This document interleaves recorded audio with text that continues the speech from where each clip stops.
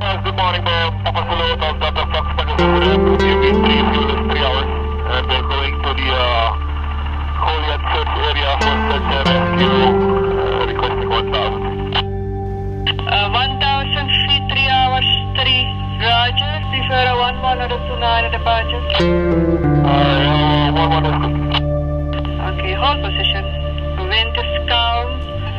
Uh, 2998 and 1426 on the time. 2998, winds are calm,